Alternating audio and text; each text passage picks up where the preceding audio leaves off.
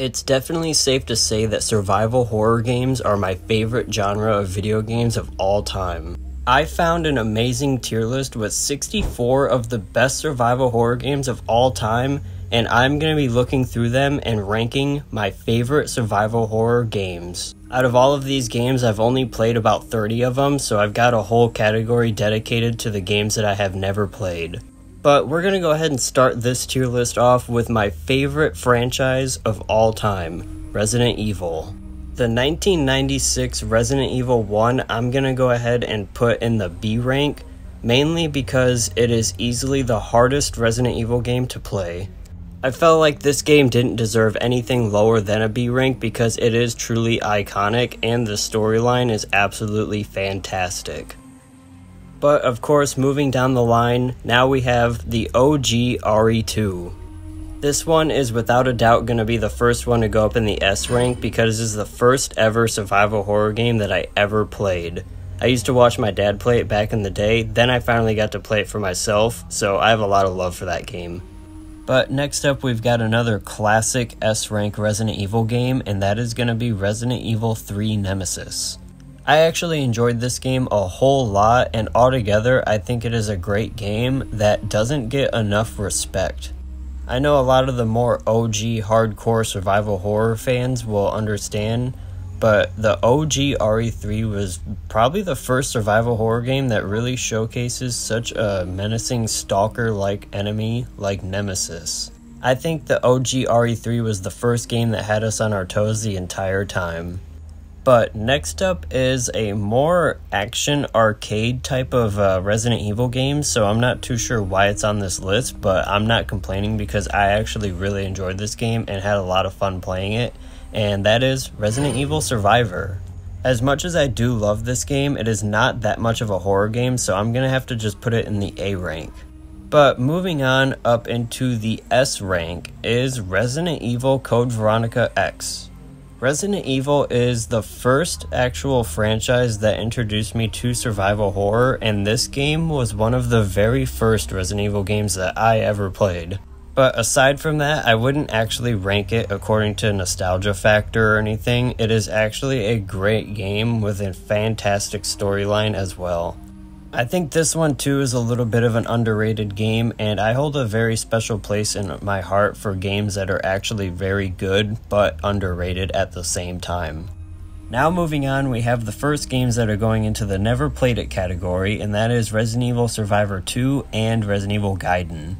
But now, moving on to one that I have played, it is RE1 Remake. I did check the game out for the first time in 2016, and I did think it was pretty fun and scary, but it was kind of difficult because I was younger, so I gave up on playing it. And then, when I heard from fans that this is one of the best survival horror games ever, I had to go back and check it out.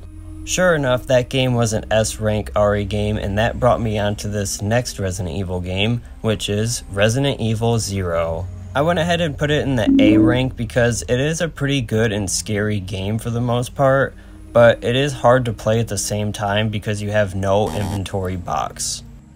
Now, next one is another nostalgic Resident Evil game for me because it was one of the first RE games that I ever played as well, and it is Resident Evil Dead Aim. I had to go ahead and put this one in the A rank as well because the story and the gameplay is just so much more improved than the previous titles that these developers made, which was Resident Evil Survivors 1 and 2. So I think they completely nailed it on Dead Aim, but moving on to the next one that I wasn't such a big fan of was Resident Evil Outbreak. I actually never got around to playing it that much, and I never did beat the game, and also, one thing is that I never got a chance to play it online, which most fans recommend doing. So, moving on, because of my uh, bad history with Outbreak File 1, I never did play Outbreak File 2, so we're just going to move on from that, and now we're going to be talking about Resident Evil 4. It is without a doubt that the OG RE4 is one of the best survival horror games that we have ever got in video game history. I had to go ahead and put it up there with OG RE2 at the top of the S rank because this game was just a complete blast to play and it had a lot of scary moments in there as well. This game was a bit more action packed compared to what a survival horror game would be, but I think this game still held a lot of those survival horror elements. Next up is another RE game that I kind of questioned why is even in this tier list to begin with, but I'm just gonna go with it. It's Resident Evil Umbrella Chronicles. I went ahead and put it in the C rank because I played this game very briefly and I wasn't such a big fan of the Wii shooter kind of games. So now moving on to my personal favorite, which is going at the top of the S rank. It is none other than Resident Evil 5. I got into survival horror games and Resident Evil just a few years before this one came out, so when this game dropped, I was so hyped for it and it went on to be one of my most played Resident Evil games and most played survival horror games ever. With how much love I have for RE5, I couldn't see me not putting it at the top of the S rank. But moving on from that brilliant game, we are now moving on to Resident Evil Operation Raccoon City. And there was also a bunch of RE games in there that I had to put and then never played it. I went ahead and put this one in the B rank. Actually, looking back at it now, it makes me want to play it again, but I actually didn't care for this game so much at the time. Another one that might not deserve being in this survival horror games tier list is Resident Evil 6, but I went ahead and put Resident Evil 6 at the top of the A rank because the game is an actual really fun game to sit through and play, especially if you have a friend and can play it co op. It doesn't hold a lot of those survival horror elements, but I think it's still got some pretty scary moments in it. Now, making its way into the S rank, we have Resident Evil Revelations 2, which, for a spin off of Resident Evil, I actually had a lot of fun playing this game and have a lot of appreciation for it. I never did end up playing the first Revelations game, but with how much fun I had when I was playing Revelations 2, it would make me tempted to go back and see how good Revelations 1 truly could be.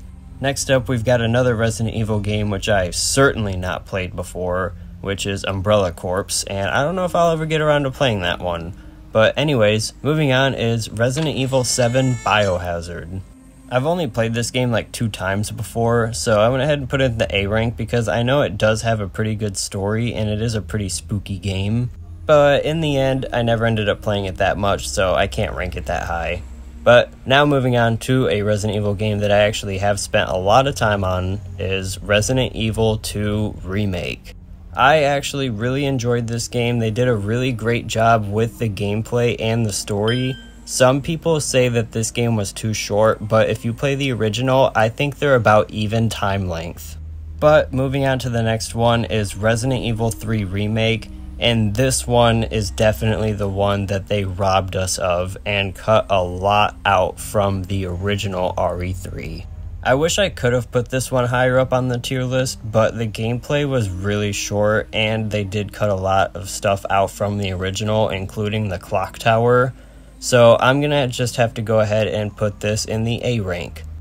Here we have another little Resident Evil game that I actually have never played before, which is Project Resistance. Which is funny to say I've never played it before because I pre ordered RE3 Remake and I have the game. I've just never chosen to actually play it before. But moving on from that, we have Resident Evil Village. I was never a big fan of video games that have the first person camera angles. So this one is actually going to be a S rank one for me, but only because of the update they had when they came out with third person mode. Here comes another one of these Resident Evil titles that I don't know why is in this list, but I am not complaining because if you know me, I have played the crap out of Resident Evil Reverse. With that being said, I had to go ahead and put it right up there in the S rank next to Resident Evil 4 because the amount of time that I have played this game and how much time I have truly spent on this game just speaks for itself for how much fun I've truly had on this game and all the memories I've made while playing it. Reverse has a special place in my heart, no one will ever say otherwise. But moving on with that, we have the Resident Evil 4 Remake, which I went ahead and put at the very top of the A rank. There's definitely a couple of things that I disliked about RE4 Remake and that I didn't agree with, so, with that being said, I only did go on to beat the game once, and then when Separate Ways Remake came out, I went through and I beat that one once as well. But besides that, I never did end up playing Mercenaries or anything because I didn't exactly get into that so much and I didn't like the direction that they went with the Mercenaries in this one. But that was our last Resident Evil game, so stick around if you want to see all these other survival horror games and where they stand on my tier list compared to the Resident Evil games. In my opinion, the first Silent Hill game is the absolute definition of survival horror gaming, so I went up there and put that in the S rank right away. Next is the original Silent Hill 2, which I went ahead and put there in the S rank right above RE1 Remake. These Silent Hill games definitely cause you to rely on a lot of more resources, including your flashlight, your radio, your ammo resource, and your health consumption.